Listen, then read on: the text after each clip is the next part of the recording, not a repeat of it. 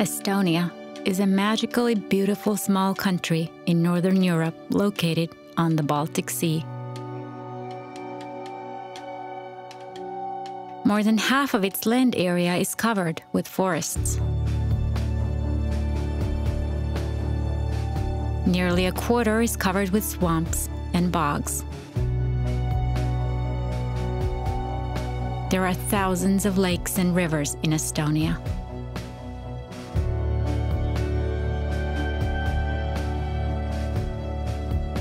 North Estonian Klint is a part of the Baltic Klint extending 1,600 kilometers from the island of Öland in Sweden to Lake Ladoga in Russia. It is a precipice of erosional escarpments in lower Paleozoic sedimentary rocks that reveals hundreds of millions of years of Earth's history. The oldest Estonian clays date back to the Ediacaran period the youngest clays originate from the glacial lakes of the last glacial period that date back to the Quaternary period. Most of Ice Age formed terrain can be seen in southern Estonia, evidenced by its rolling hills. In many places, you can see the reddish Devon sandstone cliffs.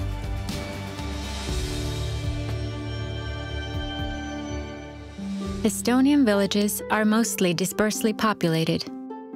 A typical Estonian peasant household would have three to six standalone buildings, often more. The main building material in Estonia, in addition to natural stone, has been timber for already thousands of years. Besides natural stone, burnt clay bricks have also been widespread. Often, different building materials were used in a single farmstead, as well as a single structure. Earth buildings are found all over Estonia, yet southern Estonia is home to the largest concentration of them. The buildings have been erected for different purposes. There are manor houses and residential buildings. But different outbuildings, stables, barns, granaries, smithies, mills, and even saunas dominate the scene. Building techniques were also different. Among the remaining structures, one can find rammed earth, adobe, and cob technique based structures common in Western Europe, but primarily a technique characteristic to local areas. The old publications on earth construction described that clay was often dug out from the ground in the fall and left to stand for the winter so it would freeze solid. This made it easier to knead the clay in the spring. Clay was mixed with dried chopped straws, heather, flax, and fir or juniper twigs into a smooth mixture on the ground or a base made of boards. Horses were used for kneading. Depending on technique, the walls were built by gentler or harder ramming, without or lifted formwork, and later more frequently with a full formwork juniper or fir twigs were laid crosswise to the wall. The corners were reinforced by means of sturdy branches. Holes were densely pierced in earth walls that were still moist. Chips of stone or wooden sticks were pressed therein. The ends of any twigs put in the earth walls were cleaned and made visible so that lime plaster would adhere better to the earth walls. Clay plaster was also used to plaster the log houses from inside. Branches, wooden, or later also reed mats were used so plaster would adhere better to the log walls. This, likely the oldest remaining Estonian clay structure, originates from the 17th century.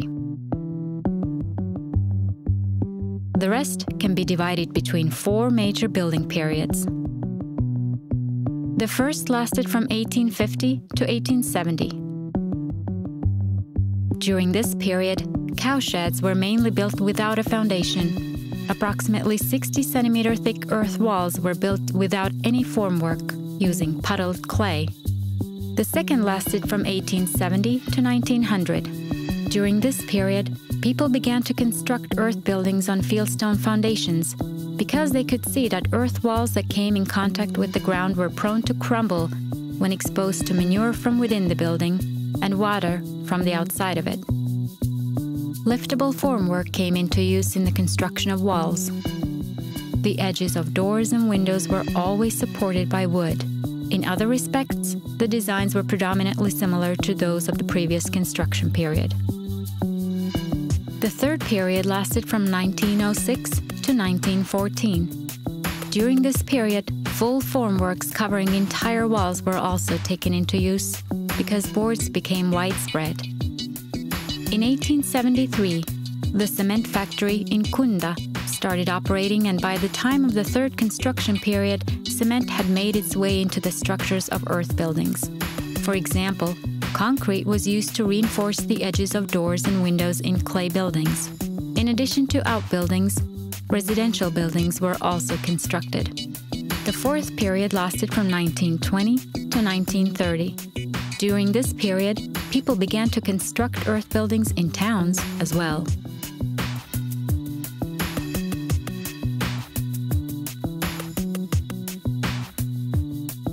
At the same time, books that taught people how to build earth buildings were published in Estonian. By this time, cheap price was no longer the only argument for erecting earth buildings. The government, too, began to popularize the construction of earth buildings. Construction workers were provided advisory services free of charge, better terms were offered for earth building construction loans, models of earth houses were introduced, and photos of completed buildings were shown at agricultural exhibitions held in bigger towns. Good indoor climate also became important because it was observed that cowsheds and stables built of earth were superior because of the warm, dry, and clean indoor air. The then head of state and later first president of the Republic of Estonia, Konstantin Päts, definitely set an example as well. He erected two big earth buildings on his grand farmstead in northern Estonia. During the Soviet occupation, all of private peasants' land and property was taken for the then established collective farms. Clay structures were rebuilt and repaired with whatever materials were found handy. Rarely, new clay barn structures were erected, but mostly clay as building material disappeared. As a result of urbanization, many farms have been left derelict after Estonia's re-independence. However, in the last decade, moving back to the countryside has again become more popular.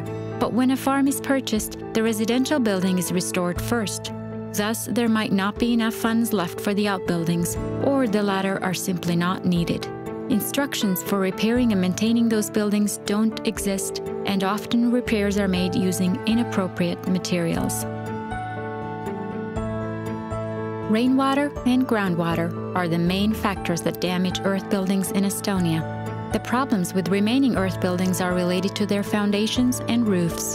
The foundations are often not deep and there are cracks in the walls due to frost heaves or an uneven sinking of the foundation. Rainwater has damaged the walls owing to short eaves or broken roofs. The earth walls of buildings whose roofs have collapsed are destroyed rapidly when exposed to the weather.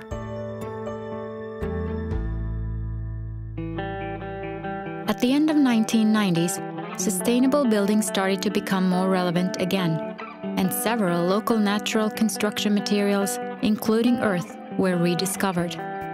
Clay plaster became increasingly more popular, and it is used as part of the interior finishing of both farmhouses as well as new buildings and apartments. Since the mid 2000s, there has been a revival of straw bale construction and clay plaster is predominantly used to plaster straw bale buildings. Light clay was introduced as a new technique of earth construction.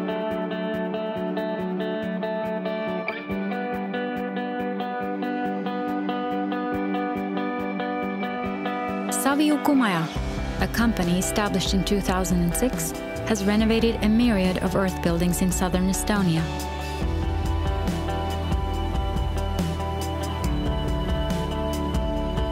advised the owners of these buildings, has taken part in the construction of new earth buildings, and regularly organized training sessions.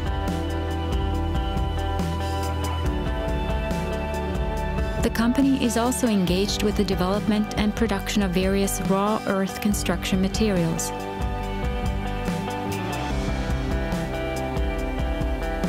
However, considering the number of earth buildings in Estonia, one private enterprise cannot change the big picture.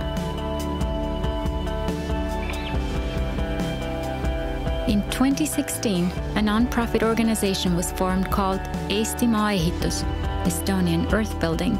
Its primary objectives are to protect and revitalize Estonian unique earth building heritage, offer broad educational services, promote and initiate cooperation between various natural building enterprises and organizations, and advance the whole field. With funding assistance from European Union, this old manor stable will be renovated and in 2018, here will open a competence, training, and product development center for traditional and natural building. We invite architects and engineers to develop solutions for modernizing old earth buildings and purpose them for residential use in Estonia and other countries with similar problems. We invite subject matter experts, self-builders, students, and volunteers to launch an international project to research and study Estonian earth building heritage, find ways for its protection and revitalization, develop renovation and maintenance guidelines for owners of earth buildings, and complete necessary preparations so that in 2018 we together can celebrate Estonia's 100th Independence Day by building a traditional method earth building here at the Estonian Open Air Museum.